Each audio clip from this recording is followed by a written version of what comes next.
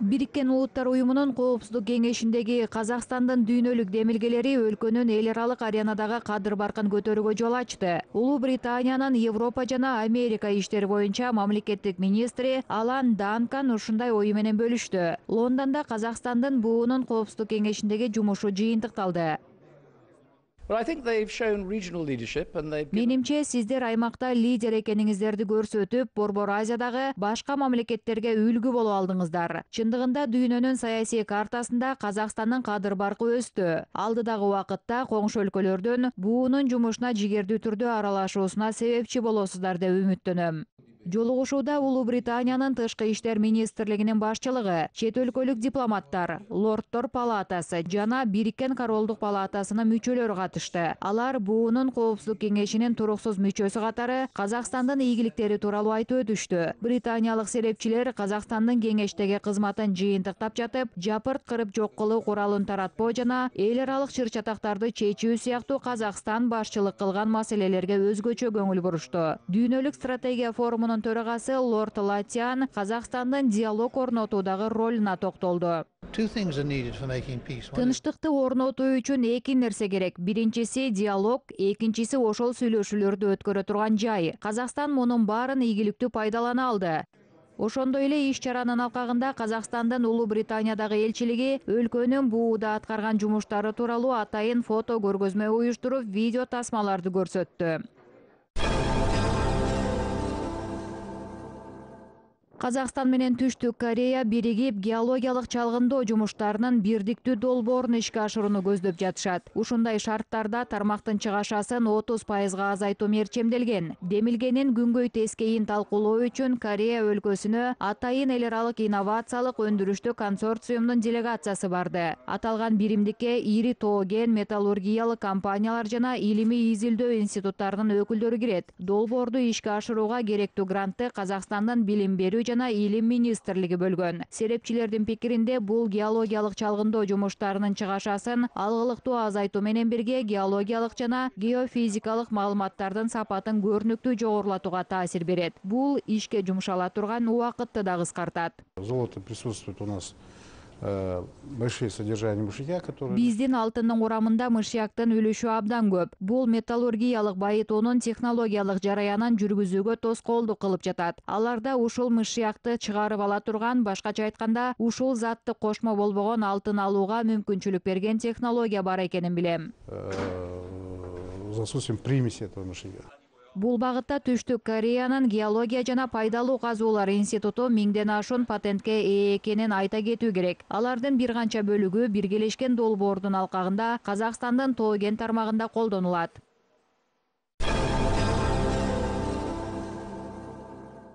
бир миң эки жүз элүү жаңы ишкана казакстанда индустриалдаштыруу жылдарында дал ушунча завод ишке кошулган. Мунай өндүрүү менен бирге өлкөдө иштетүү өнөр жайы да өнүгүүдө. Өлкө башчысынын тапшырмасы боюнча бул багытка беш жүз миллиард теңге каражат бөлүндү. Каржылай колдоого ички рынокто гана эмес чет өлкөлөргө да өз өнүмдөрүн жөнөтүүнү көздөгөн ишканалар ээ болду. Жалпы иштетүү тармагынын өндүрүш көлөмү эки миң он жетинчи жыл менен салыштырганда үч эседен ашуун өсүш көрсөткөн. Көрсөткүч тогуз жарым триллион теңгеге жетип жатат. Ал эми быйыл иштетүү өнөр жайындагы эмгек өнүмдүүлүгү кырк пайызга чейин өсөт деп күтүлүүдө иштетүү тармагындагы ийгиликтүү долбоорлордун бири кызыл орду аймагындагы тампонаждуу гүл бото чыгаруу заводу. Ишкана бештин айында кытайлык өнөктөштөр менен бирге ишке кошулган. Бул жерде жылына бир миллион тонна гүл бото өндүрүү мерчемделүүдө завод өнүмү курулуш мунай газ жана уран өнөр жайында колдонулат. Бир сөз менен айтканда алдыга коюлган мерчем масштабтуу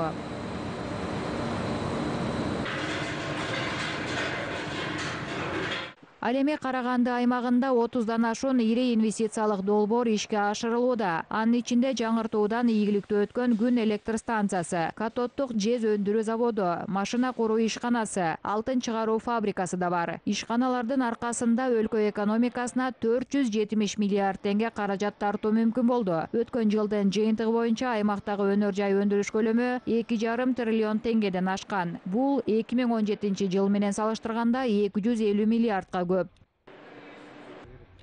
Жоспарларга келетін болсақ 2019 жылы өнеркәсиптин пландарга келе турган болсок эки миң он тогузунчу жылы өнөр жай төрт жарым пайызга же эки бүтүн ондон жети триллионго өсөт. Болот өндүрүшү төрт миллион тоннадан ашуун жез өндүрүшү өткөн жылга караганда элүү миң тоннага көп болот. Жалпы өнөр жайды өнүктүрүү жана инвестицияларды тартуу оң ыргакка ээ. Мындан сырткары биз беш жүз миллиард теңге көлөмүндө инвестиция тартууну көздөп жатабыз машина куруу тармагынын натыйжасы да көңүл жылытарлык. Жети жылдын ичинде өндүрүш көлөмү эки жарым эсеге өстү. Ар бир экинчи жеңил же жүк унаасын ата мекендик өндүрүүчүлөр жасаган. Мисалы эки миң он сегизинчи жылы костанайлык унаа заводу он эки миңден ашуун унаа чыгарган. Жалпы суммасы сексен миллиард теңге. Костанайда чогултулган темир тулпардын токсон пайызын казакстандыктар сатып алышкан. Ата мекендик унааларды жергиликтүү жашоочулар өз керегине жаратып жатышат. Ал эми чет өлкөгө болжол менен бир миллиард теңгелик унаа экспорттолгон. Орусия кыргызстан тажикстан өлкөлөрүнө жөнөтүлгөн. Беларусь өлкөсүнө да алгачкы партиясы экспорттолду. Азербайжан рыногу да караштырылып жатат. Эки миң он тогузунчу жылы заводдо жыйырма миңден ашуун унаа куроо көзделүүдө. Анын бир жарым миңи чет өлкөлөргө жөнөтүлөт География экспорта будет расширяться, но в любом өндүрүш көлөмүнүн өсүшү моделдер желесинин кеңейүүсү жана жаңы унаа түрлөрүн болушунча өздөштүрүүгө таасир берет. Негизги рынок орусия болуп кала берет. Чек арага чейин жүз жетимиш чакырым бар. Челябинск екатеринбург сыяктуу шаарлар бар. Акыркы жылдары казакстан беш жүздөн ашуун жаңы өнүм чыгара баштады. Алар ушуга чейин өлкөдө таптакыр өндүрүлгөн эмес. Товарлардын элүү түрү дүйнөнүн жүз он өлкөсүнө экспорттолот. Алардын катарында кытай орусия борбор азия жана евро биримдик өлкөлөрү да бар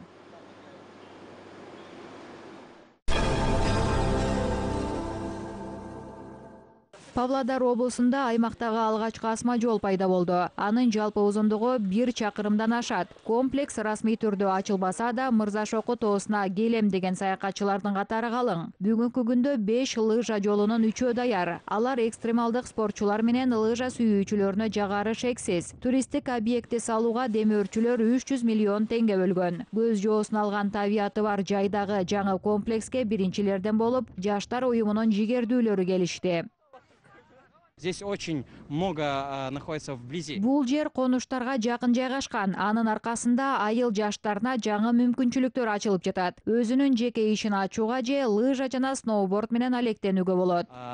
Лыжным спортом либо сноубордом. Ертис аймагынын жаштары баян абул районунун туристтик тартымдуулугун өнүктүрүүгө бел байлашты. Тамыры тереңде жаткан тарыхын даңазалайт. Жигердүү жаштар коноктор үчүн ат менен сейилдөөнү уюштуруп ыйык жерлерди кыдыртып жүрүшөт. Бул мыкты иш чаралардан галымбек кали акбар да четте калган эмес. Ал аймакка туристтерди тартууга арналган жаңы демилге көтөрүп жатат. Анын долбоору өлкөдө эң мыкты деп табылганын кошумчалай кетүү керек водный аттракцион водная горка с трамп- трамплини бар суу аттракционунун болгонун каалайм казакстанда мурда болбогон долбоор аба шаарларын кое берсек баян абулдун көркүн асмандан көрүүгө болот. Запустить мото дельтаплан бир айдан кийин павлодар облусунда ат адамдын канаты аттуу фестиваль уюштурулат. Ал жерде мыкты саяпкерлер мүнүшкөрлөр жана асыл тукумдуу ит асыроочулар кездешет. Адистердин пикиринде бул этно иш чаралар чет өлкөлүк туристтерге кызыктуу болот.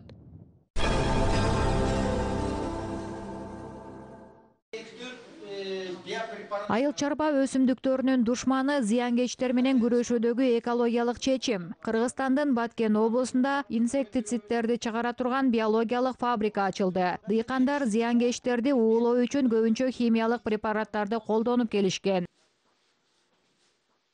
Баткен аймактык биофабрикасында э, төрт эки препарат өндүрүлөт суюк түбүндө бул триходерм биолигин деген анан интемофак деп коет бул кыргызча бизге которгондо чымын деп койсок болот төрт түрлүү чымын өндүрөбүз да алар ошол зыянкечтердеги дарактардагы жер жемиштердеги баардык зыянкечтерди булар кээ бирлери өзүн жанагы өзүн чагып өлтүрөт кээ бирлери тукумун жеп жок кылат да адистердин айтымында био өнүмдүн башкы артыкчылыгы адамдардын ден соолугуна коопсуз табигый таза өсүмдүктөрдү өстүрүүгө мүмкүнчүлүк берет жыйырма күндөн отуз күнгө чейин бир поколениясы өтө берет мисалы биз муну бак дарактарга чыгарганыбызда бак дарактарда да өздөрү табигый жолу менен зыянкечтерди зыянкечтер менен тамактанып өзү дагы көбөйө береттер жаңы биологиялык ишкана биопрепараттардын өндүрүш көлөмүн жогорулатууга оң таасирин берет деп күтүлүүдө органикалык инсектицидтерди кыргызстандын аймагынан башка рынокторго чыгаруу мерчемделген. Бул багытта экспорттук талаптардын эске алынуусун тыкыр көзөмөлдөө керек дешет адистер ал үчүн алгач өлкөнүн ар бир аймагында ушундай фабрикаларды салып өндүрүш көлөмүн жогорулатууга көңүл бөлүнөт санынан мурун сапатын көтөрүү керек.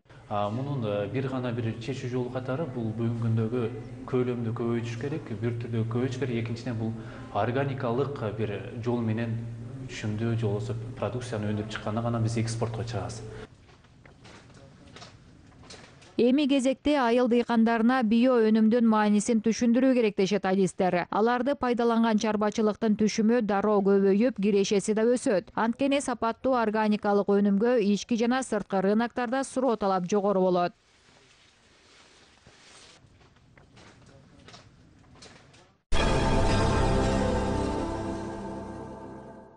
тажикстан таланттуу жаштарга өзгөчө көңүл буруп жатат. Республикада өсүп келе жаткан муунду интеллектуалдык өнүктүрүүгө басым жасалууда. Өлкөнүн окуучулары эл аралык олимпиадаларга катышып байма бай алдыңкы орундарды багындырып келишет. Мисалы жакында он алты жаштагы далер пиров алматыда өткөн математика физика жана информатика боюнча олимпиадада алтын медалды тагынып кетти. Өспүрүм физиканын баардык эрежелери камтылган өтө татаал тапшырманы жогорку деңгээлде аткарган. Бул тапшырманын жообун табуу үчүн окуучуларга бир нече саат керектелген. Ал эми далер аны отуз мүнөттө аяктаган. Ошондой эле ал лазердик нурлар менен болгон экспериментте да окумуштууларды таң калтырды ал башкалардан алдыга озуп чыгып ар түстүү айнек чыпкаларынан сары түс көп өткөрөрүн таап чыккан.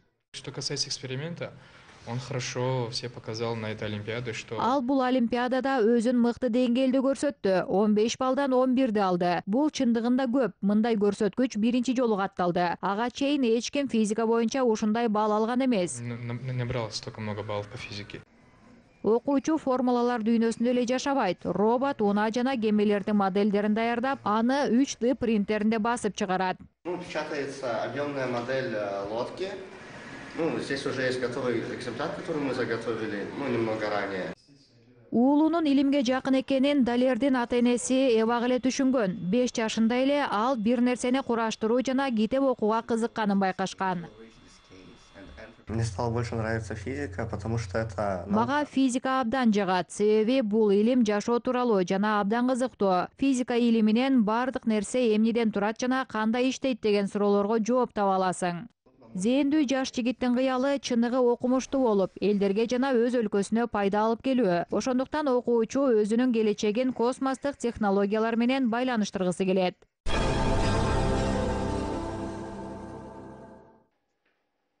чебердин колунан чыккан ар бир эмгек уникалдуу жана өзгөчө. Руслан жөнүсов жыгачты оюп жырткыч куш жана адамдардын кейпин өзүндөй кылып жасап чыгарат. Бир кызыгы анын эмгектеринин бийиктиги болгону беш сантиметр. Азыр ал байыркы мезгилде ата бабалар алектенген кесипти кайра жаңыртып шакирт тарбиялап жүрөт. Азыр анын тобунда сексенге жакын окуучу бар. Алар кыпындай болгон айкелге терең ойду сиңдирип айкел жасоонун сырларын үйрөнүп жатышат. Тамыры тереңде жаткан өлкө тарыхы ар бир айкелде көрүнүш табуусу керек мамлекет башчысынын улуу талаанын жети кыры аттуу макаласында да жырткыч стилине терең маани берилген дейт уста я стремлюсь как можно больше охватить детей чтобы конечно они все вырезать не будут но хотя бы чтобы у них было мен билген нерсемди болушунча балдарга үйрөтүүгө аракет кылам. Албетте алардын баардыгы келечекте жыгач кесүү менен алектенбейт. Ошентсе да өнөрдүн ушундай багыты бар экенин билсе дейм жыйырманчы кылымда сак коргондорунда жүргүзүлгөн казуу жумуштарынын натыйжасында бир нече жыгач жана металл буюмдар табылган. Алардын жасалуу үлгүсү бирдей экени көзгө дароо байкалат. Бул сактардын жырткыч стили деп аталат.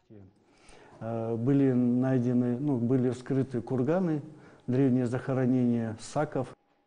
бешинчи класстын окуучусу айбын мейрам бир жылдын ичинде жаныбардын көрүнүшүн жасоону үйрөнгөн. Азыр бул жыгачты жолборско айландырууга аракет кылып жатат. Анын айтымында аны ишке ашыруу үчүн жок дегенде бир жума керек. Биришкен жолбарыс мага өтө катуу унайды мага жолборс абдан жагат жыгачтан аны жасоого аракет кылып келем. Бирок такыр окшоштура албай койдум. Кичинекей ийниме жырткычтардын баарын жасап бердим. Ийнимди кубантып бул жырткычты да жасап берүүнү чечтим. Ирим жетекчисинин айтымында балдар айкел жасоодон сырткары казакстан аймагында жашаган элдер жана улуу талаанын цивилизациясы байыркы шаарлардын тарыхы менен таанышат. Мисалы алтын адамдын өзү байыркы замандагы маданияттан кабар берет дейт ал Даже по головному убору было понятно, что у людей э, того времени... ошол кездеги адамдарда жаратылыш тууралуу так түшүнүктөр калыптанган. Аны алтын адамдын баш кийиминен байкоого болот. Анда туяктуу жаныбарлардын жырткычтардын жана адамдардын сүрөтү бар. Бул ошол кездеги адамдар орто жогорку жана төмөнкү дүйнө бар деп элестетишкенин билдирет. Э, Люди четко представляли, что есть средний мир, есть верхний мир и есть нижний мир.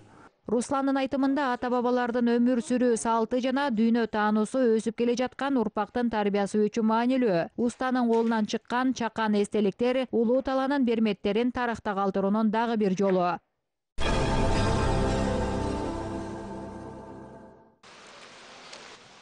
казак авторлорунун чыгармалары швециялык окурмандардын суроо талабына ээ стокгольмдагы эл аралык китепканада эки жүздөн ашуун казакча басылма бар. Тарыхый көркөм адабий балдарга арналган жана окуу усулдук материалдар. Алардын баарын бир жарым жыл мурун казакстандын улуттук академиялык китепканасы швециялык китеп кампасына белекке тартуулаган эми швециялык окурман ильяс эсенберлин муктар шаханов кадыр мырзалиев сыяктуу белгилүү акын жазуучулардын эмгектери менен тааныша Generally, we have about 110, 15 different languages from them. биздин китепканабызга болгону он сегиз жыл болсо да жүз он беш тилдеги чыгарма бар. Казак тили да алардын катарында. Казакча китептер көп эмес болжол менен эки жүзгө жакын басылма бар. Арасында акыркы мезгилде жазылган эмгектердин көп экенин көрүп жатабыз. Аларды швецияда жашаган казакстандыктар окушат. Негизинен жаштар студенттер көп келишет. Өспүрүмдөр да алып окуй алышат бизде араб фарс орус кытай жана испан тилдериндеги эмгектер менен таанышууга болот. Окурмандар үчүн тандоо көп. Казак тилиндеги китептер биздин китепканабызга эки миң он жетинчи жылы келип түшкөн. Мени сиздердин өлкөнүн тарыхы кызыктырат мен казакстанда бир жолу дагы болгон эмесмин. Сиздерде заманбап шаарлардын бар экенин билем. Ал эми айылдарда ат жалында ойногон адамдар жашайт. Бизде либай аттуу белгилүү кытайлык акын бар. Ал казакстанда туулган. Өзүнүн чыгармаларында казакстандын табиятын укмуштуудай сүрөттөйт. Маданий байланыштан башка биздин өлкөлөрдүн ортосундагы жалпы экономикалык өнөктөштүк да жыл сайын өнүгүп келе жатат. Бир кур бир жол демилгеси ишке ашып жатат. Келечекте казакстанга барууну көздөп жатам.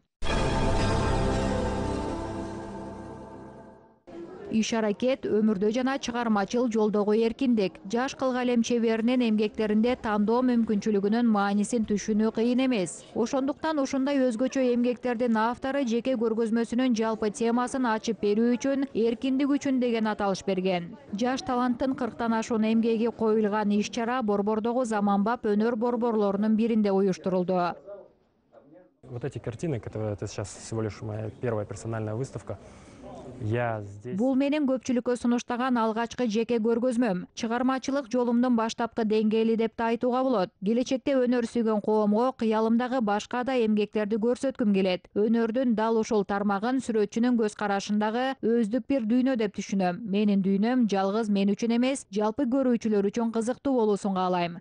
Для того, чтобы просто, не знаю, это рост, совершенство.